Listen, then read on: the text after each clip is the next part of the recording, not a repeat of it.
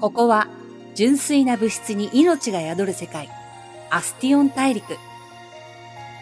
この世界では元素が人のような体を持ち、科学の世界で暮らしている。元素たちの歌う周期率を風が運ぶこの世界では、様々な不思議な現象が日々起こっている。さて、今日はある二人の元素がきっかけで見つかった不思議な現象の物語をお話ししよう。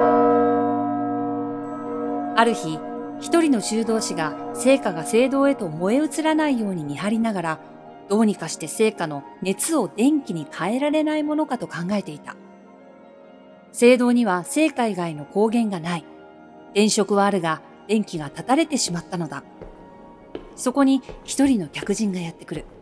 かの者もまた聖堂に光を灯したいと願う者の一人だった。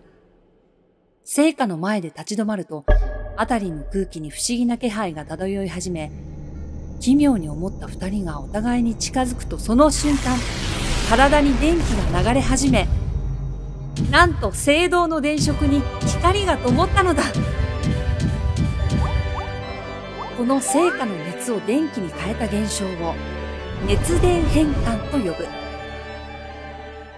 ここからは熱電変換の仕組みを見ていこう。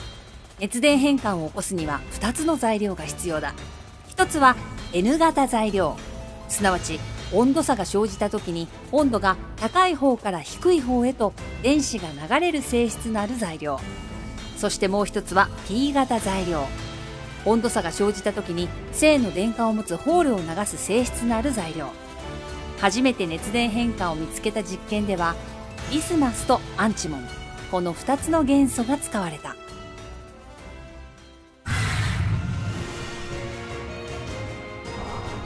さて熱が電気に変換される様子を細かく見てみよう。材料に温度差が生じた時。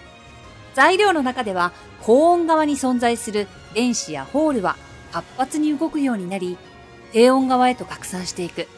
それにより高温側と低温側で密度の差が生じて材料内に電位差が生まれ、そして2つの材料をつなぐことで回路が完成し電気が流れる。